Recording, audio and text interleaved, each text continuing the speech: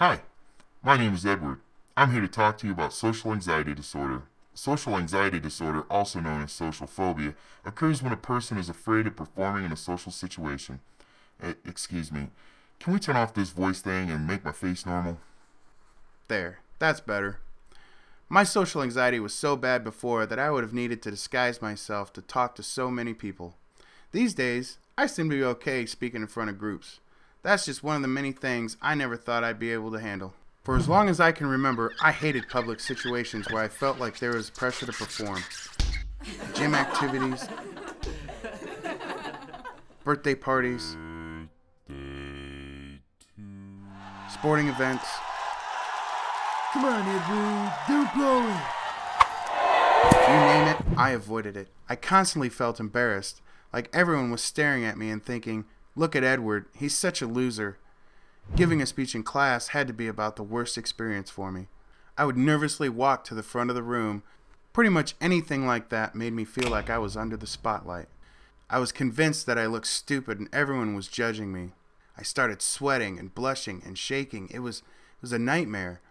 I started to avoid uncomfortable situations.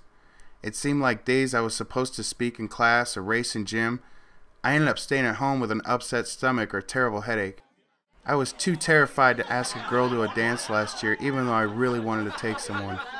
I watched everyone else dancing and having a good time and wondered why it was so hard for me to just chill out and have fun. I know that everyone gets nervous and anxious sometimes, but my anxiety was out of this world. I thought that there was something wrong with me. My parents were getting worried too. Edward, your father and I are concerned about you. You are such a special young man, and we are so proud of you, but it seems like your anxiety is really getting in the way of you enjoying life. I went through some similar fears and worries at your age, son. I think it's time we take you to see a doctor to get these feelings figured out. Hello, Edward. Hi, Dr. B. Edward, you have a condition called social anxiety disorder. Think of the different parts of your brain. You've got your prefrontal cortex, your basal ganglia, your limbic system, your amygdala. There's all kinds of stuff going on up there. Now imagine that each part of the brain is like a different building. The buildings are connected by pathways. On these pathways are messengers that carry information between buildings. These messengers are your neurotransmitters serotonin, norepinephrine, dopamine, GABA, and more. A little bit of stress or anxiety in a social situation is actually helpful. Think of a gymnast in the Olympics. The stress of competition actually helps her perform better. In your brain, the messengers start to go haywire every time you feel social anxiety. The messengers flood your brain with alarming signals, making you feel anxious and paralyzed with fear. We are not exactly certain why some young people have social anxiety disorder. Most likely, it's a combination of factors genetics and learned behaviors. There are some great treatments for social anxiety disorder.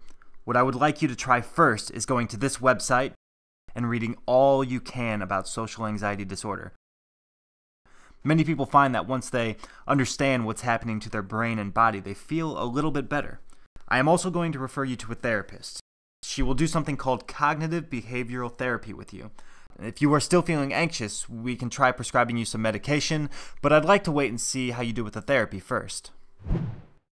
The doctor was right. I learned a lot about social anxiety disorder. I went to therapy and it really helped. Remember those buildings, sidewalks, and messengers? Well, therapy helped me learn how to slow those messengers down and have more control over how my brain communicates with my body.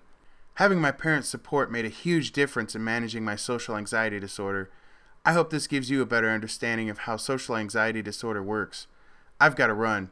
I've joined the speech team and we've got a meet tonight. I'm doing all kinds of things now that I never would have dared to do before. It's pretty awesome.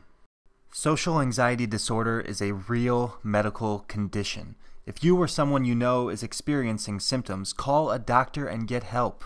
You can also check out this website, www.teenmentalhealth.org, for more information.